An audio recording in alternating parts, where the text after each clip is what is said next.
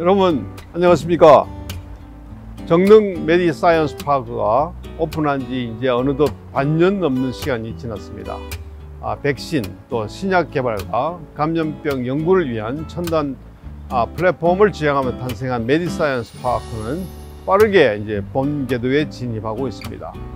아, 동화 바이오관에는 항암 신약 생산이 가능한 GMP 시설이 구축되었으며 첨단 헬스케어 스타트업 또 연구소들의 2단계 입지 절차가 진행되고 있습니다. 또한 그 제 뒤로 보이는 이 정몽구관에는 세계 최고 수준의 백신 혁신센터 조성을 위한 관련 시설이 아, 만들어지고 있으며 아, 지난 24일에는 센터 설립을 기념하는 아, 심포지엄도 열렸습니다. 코로나19 이후에 new normal을 주도할 KU Medicine의 핵심 동력인 메디사이언스 파크의 행보를 계속해서 지켜봐 주시기를 바랍니다. 이제 각 병원이 5기 상급 종합병원 지정을 향한 본격 준비 태세에 돌입했습니다. 이번 평가에서는 아, 진료정보 협력 체계를 비롯해서 환자 중증도 또 경증 환자 회송 체계, 인력 구성, 또 공공성 충족 등 아, 주요 항목들이 대폭 아, 변경되어서 더욱 철저한 준비를 요하고 있습니다.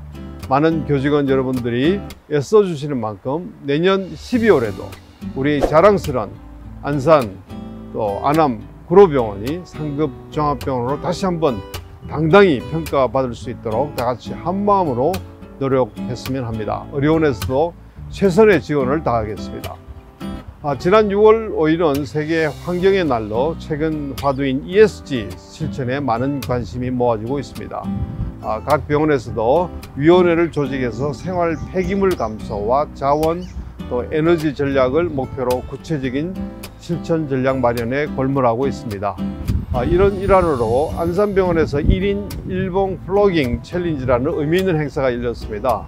고대병원 주변에 쓰레기를 주워오면 개인 컵에 아이스 아메리카노를 제공하는 것으로 건강과 환경을 생각하게 하는 아주 흥미로운 행사인 것 같습니다. 다음에는 저도 꼭 동참하도록 하겠습니다.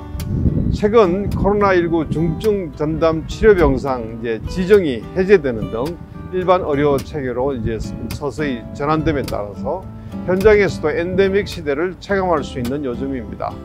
팬데믹 비상 대응을 위해서 마련되었던 코로나 병동을 비롯한 많은 시설들이 다시 일반 환자들 위해 정상화되고 있으며 또 많은 관심을 모았던 안암병원의 서울형 소아 전용 긴급 모듈 병원도 다양한 가능성을 제시하며 운영을 마쳤습니다.